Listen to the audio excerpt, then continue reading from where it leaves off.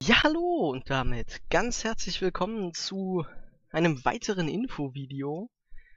Ja, zu meinem Kanal Fighting Joe oder Strategie mit Fighting Joe, wie er ja ganz offiziell heißt. Ähm, ja. Äh, es ist nicht mehr weit hin, wenn ich das hier aufnehme. Wenn ich das hochlade, noch viel weniger die Emperor Edition, das große Remake und außerdem die Augustus-Kampagne stehen quasi schon mit anderthalb Füßen in der Türmatte. Ähm, und ja, äh, viele Dinge, die ich im letzten Ankündigungsvideo, das ja leider noch gar nicht so lange her ist, ich finde diese Videos immer so ein bisschen äh, schwer aufzunehmen, äh, aber sie müssen ja sein. Ich möchte euch ja schon ein paar Sachen sagen und sie gehen ja wenigstens schnell hochgeladen. Ähm, ja.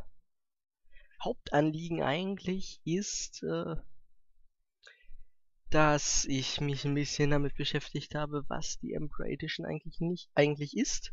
Ähm, ich habe auch eigentlich alle Livestreams von The Creative Assembly dazu geschaut. Sehr interessant, auch eigentlich sehr gut gemacht.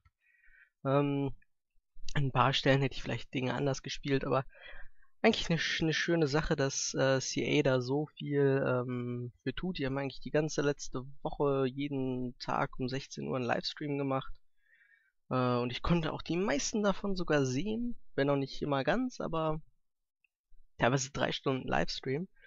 Ähm, also durchaus sehr schön. Mm, ja, und ähm,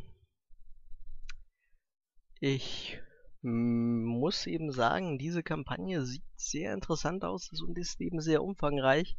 Und ich fürchte, da werde ich es nicht so machen können wie bei den anderen Kampagnen DLCs, dass ich die so ein bisschen stiefmütterlich übergehe. Ähm, darum werde ich auch zur Emperor Edition äh, ja, Videos machen. Zum einen äh, werde ich, das kündige ich schon mal ganz frech an, äh, ein Together-Projekt starten mit dem guten Masterbean. Die meisten meiner Abonnenten und Zuschauer kennen ihn hoffentlich. Wenn nicht, dann klickt unten äh, in die Videobeschreibung auf seinen Kanal. Da werden wir wahrscheinlich zwei der größeren Römerfraktionen spielen. Äh, irgendwie Lepidus und Marc Antonius oder Lepidus und Octavian. Ich glaube, wir werden einmal Octavian reinbringen. Den darf dann Sulla spielen. Äh, ja, und wir wollen uns einfach mal äh, im größeren Rahmen eins auf die Fresse geben und schauen, wer wirklich äh, der Bessere ist. Ähm, Im Zweifelsfall schiebe ich es dann eh auf die Position. Ähm, ja, und das kündige ich auf jeden Fall an. Da werden wir nur noch mal schauen müssen, wie das mit dem Hochladen und dem Aufnahmen ist, äh, Aufnehmen ist, mit der Zeit und so. Das heißt, das wird wahrscheinlich nicht so häufig oder unregelmäßig hochkommen. Das müssen wir noch mal planen. Das erfahrt ihr aber alles in den ersten Folgen äh, dieses Projekts. Dann steht eben an, ja, die Makedonen im Singleplayer in der Hauptkampagne, in der Grundkampagne. Das möchte ich mir nicht nehmen lassen. Ich habe schon in der Beta jetzt eine Testkampagne gespielt, sehr interessant. Viele neue Features, die man nochmal, auf die man nochmal eingehen kann. Äh, eine, eine durch paar Dinge sehr veränderte Startposition. Und auch diese Beta-Kampagne war eigentlich sehr interessant, hat sich sehr unerwartet entwickelt eigentlich, könnte man sagen. Also es haben sich auch Dinge getan, die man vielleicht nicht so erwartet hat.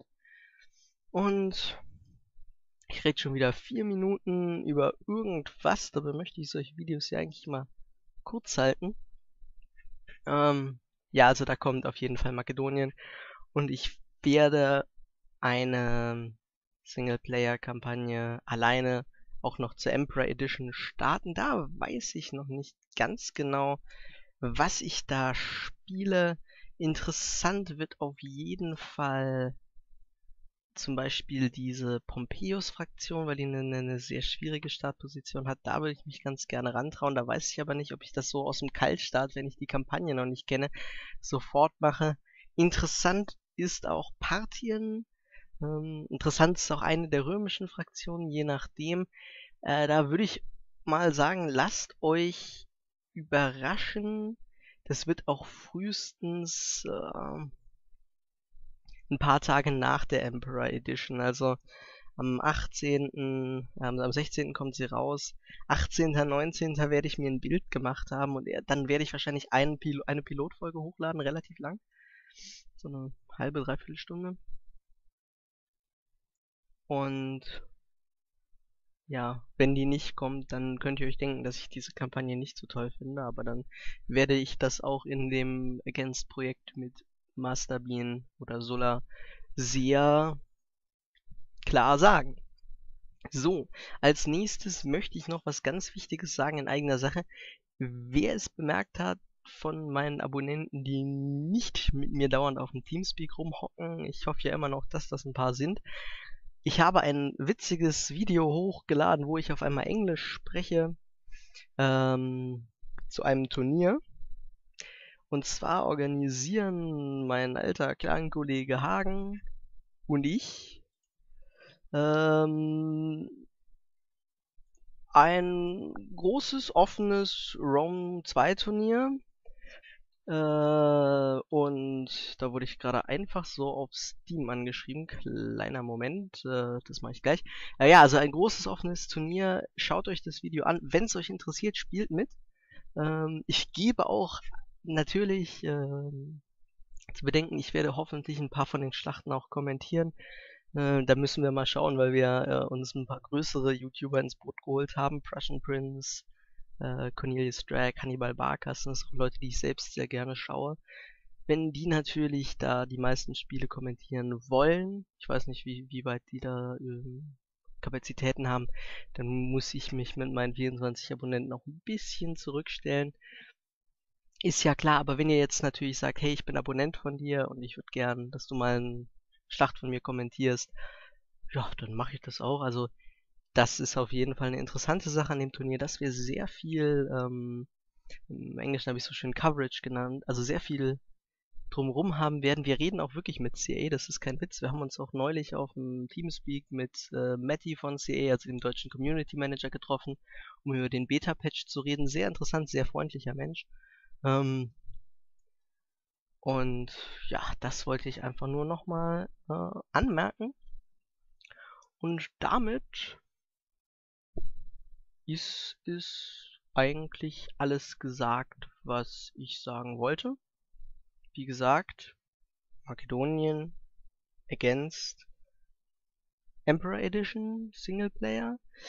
Wahrscheinlich werde ich es so machen, dass irgendwie so am Wochenende so die, die Against Parts eintrudeln und entweder mache ich abwechselnd, was ich nicht so schön fände, in den Wochen das mit den Singleplayer-Kampagnen oder den einen Tag eins, den einen Tag das andere. Das Problem ist mit dem Abwechseln in den Tagen, dass ich dann immer für beides aufnehmen muss. Und ich weiß nicht, inwieweit ich das hinkriege. Wenn so, kann ich sagen, okay, dann spiele ich einfach mal drei, vier Stunden Makedonien, nehme da Parts für eine ganze Woche auf und dann ist gut.